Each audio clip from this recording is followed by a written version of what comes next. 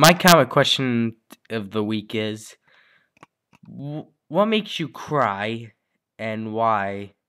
To me, it's my school. I'm not telling you where it is to all the child molesters and kidnappers out there. So, uh, too bad.